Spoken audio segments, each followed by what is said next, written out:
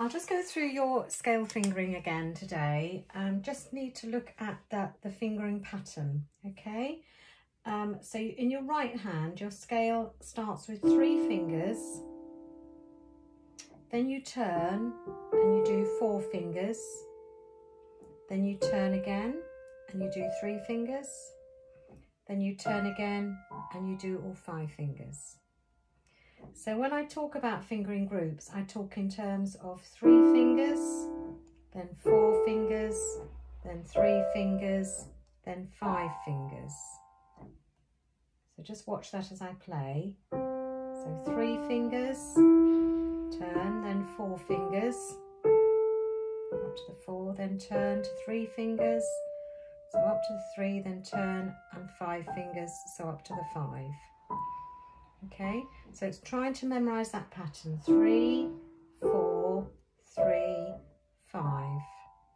And on the way down, it'll be in reverse. So five comes first, then three, then four, and then three. So as I play down the scale, I do all five fingers and turn, then three fingers, turn, four fingers, turn and three fingers. Okay, so it does depend on you being able to remember that.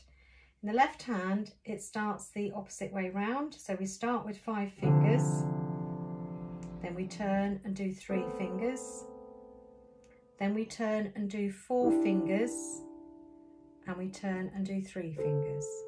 So let's watch that. All five fingers to start, turn, then three fingers.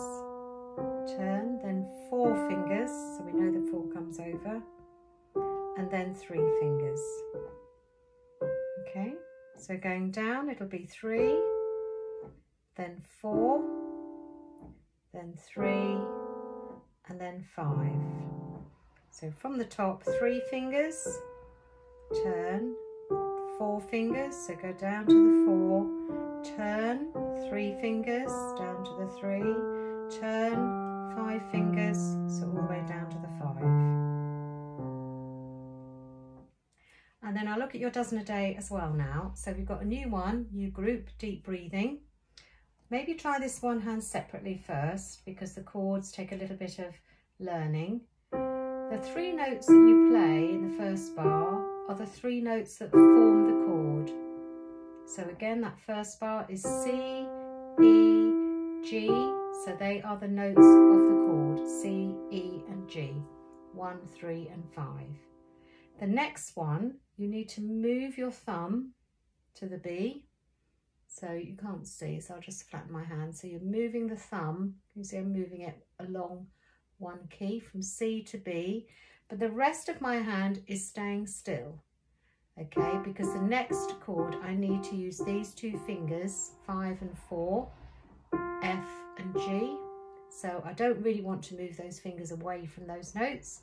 So all I've done is I've taken my thumb and moved it down one key to B. So the three notes are B, F, G, and then you play those three.